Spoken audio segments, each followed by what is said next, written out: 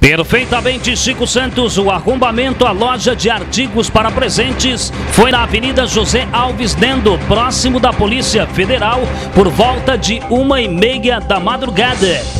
Segundo informou a vítima, que não quis ser identificada, ela disse que sempre tem acontecido furtos na avenida e pede mais segurança no local. Apesar de ser próximo da Polícia Federal, sempre tem acontecido assaltos do bairro. Dona Vilma, a senhora teve aí o seu estabelecimento arrombado esta, esta madrugada, hein?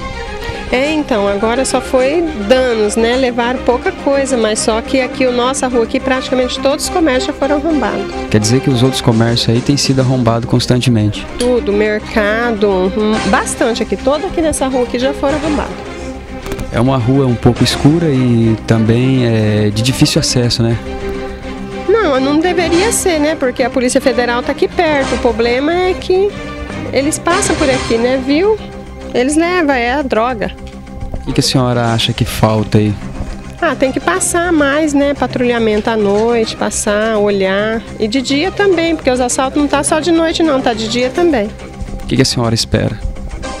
Segurança, né? Que a gente precisa, não só de noite, mas também de dia, porque de dia nós estamos por aqui, tá dando muito salto à mão armada.